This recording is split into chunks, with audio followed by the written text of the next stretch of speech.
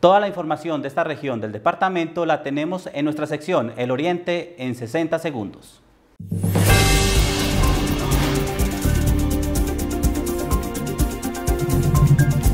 Justo en el momento en el que se recibían 10 millones de pesos producto de una extorsión, agentes del Ejército Nacional y la Fiscalía General de la Nación capturaron a dos sujetos en el municipio de San Rafael.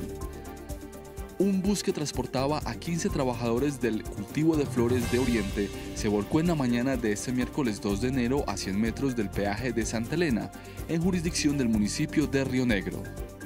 Un reprochable ataque contra la fuerza pública se registró en el barrio Hoyo de Tierra en el municipio de La Ceja. En el sitio se registró una riña con arma blanca entre dos hombres, pero cuando una patrulla de la policía llegó a controlar la situación, más de 15 personas iniciaron una azonada contra los uniformados. Un susto se llevaron el párroco y los habitantes del municipio de El Retiro cuando unas horas antes de la misa de las 6 de la tarde, parte de la capilla San José, una edificación colonial que data de 1730, colapsó.